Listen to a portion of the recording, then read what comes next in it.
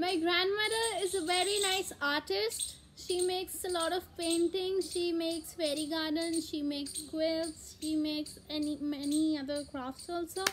And um, She has a great interest in that.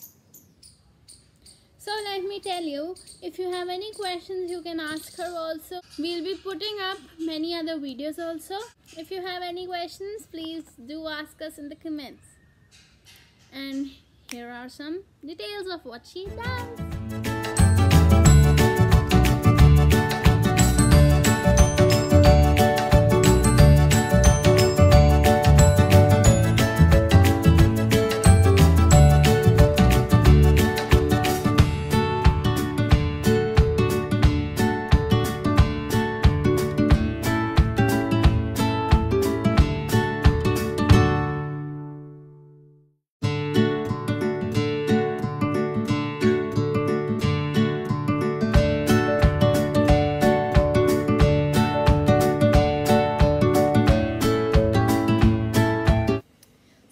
Guys, this is my grandmother who does all the creations. Hi everybody If you liked our video, please give it a big thumbs up.